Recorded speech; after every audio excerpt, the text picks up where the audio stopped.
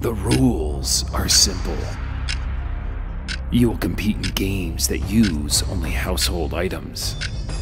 If you can do it in under 60 seconds, you will have a chance of playing in the finals where one person will walk away victorious. This is Minute to Win It. Here's how it works. You'll have the opportunity to compete in any one of the games located throughout the room. If you garner the highest score in any one of the games, you will move on to the finals, where you'll compete head to head with the other participants for a chance at winning the grand prize. Every gaming station will be outfitted with all the necessary tools and custom tables to make it feel as if you were on the TV show itself. Each gaming station will also feature energetic event staff that will root you on while you compete, as well as help navigate the touchscreen monitor that provide a preview of the game and even track your time.